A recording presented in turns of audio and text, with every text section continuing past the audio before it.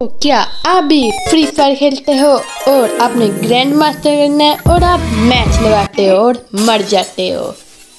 इसलिए मैं आपको बताने वाला हूँ कुछ ऐसे करेक्टर कॉम्बिनेशन जिसके बाद कभी नहीं मरोगे। मगर उससे पहले लाइक और सब्सक्राइब कर दे। तो सबसे पहले करेक्टर कॉम्बिनेशन में आपने ले लेना है ओरियन डीबी और लूना ये तीन करेक्टर आपने ले लेने हैं।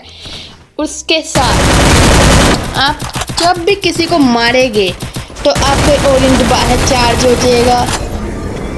कि आपका वो करेक्टर है जो आपको हर जगह ई पी दे देगा हर किसी को डाउन करने पे। तो इतना वन वी फोर ईजी निकाल सकते हैं। जैसे मैं एक को डाउन किया मेरा ओरियन दोबारा चार्ज हो गया मगर मुझे ओरियन को यूज़ करने की ज़रूरत नहीं पड़ी। तो मैं अगला एनिमी ढूंढ लूँगा देखिए इतनी मुझे अगला में मिल गया मगर उसको भी मारने के लिए मुझे और ओरियन यूज़ नहीं करना पड़ा। और अगले को एक्टर कॉम्बिनेशन में आपने लेना है टेसिया लूना एंटोनिया और सानी उसके बाद आप देख सकते हैं जैसे ही मेरे सामने एनिमी आया मैंने उसको आते ही हेडसेट मार दिया। ये सिर्फ़ और सिर्फ़ लूना उसे रेट ऑफ़ फायर भर गया और मेरा आसानी से हेड शॉट लग गया। और यहाँ पे दूसरा एनिमी भी मिल जाता है। पहले उसे बॉडी मारता हूँ फिर मैं थोड़ा ड्रैग करता हूँ उसको हेड शॉट लग जाता है। और ही करवा दी ये दो भी। इस तरह आप बच भी सकते हैं उसके बाद शॉर्ट गन थी मेरे से बच गया।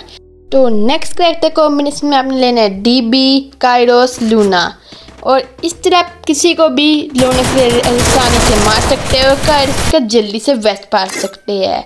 और अगले में आपने लेना है एंटारियो लूना सानी और ये वाला एक्टिव करेक्टर इस तरह आप देखिए, किसी भी लड़ेगे तो आपकी एच इतनी ज़्यादा होगी, कोई आपको मार ही नहीं सकता। मुझे इसने इतनी गोलियाँ मारी, लेकिन मेरी एच पी फिर भी बच गई।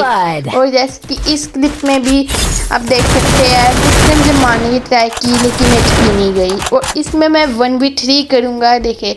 सामने से दो बंदे और आ जाएँगे एक साथ अटैक कर देंगे मगर उसने मुझे डैमेज दिया इसको मार दिया। यहाँ से ये डैमेज दे रहा है। उसने जब तक मुझे मारने की कोशिश मैंने इसको भी मार दिया।